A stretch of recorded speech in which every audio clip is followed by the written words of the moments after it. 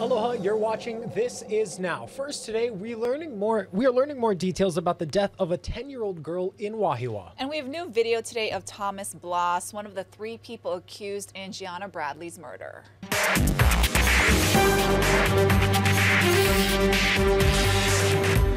This is video of him coming out of the sheriff's office this morning. Geanna Bradley was pronounced dead at her home on Karsten Drive in Wahiawa on January 18th.